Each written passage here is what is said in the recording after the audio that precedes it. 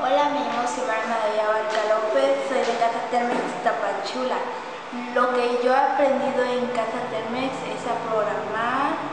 a las partes de la computadora, matemáticas y cómo puedes programar cosas de Minecraft y son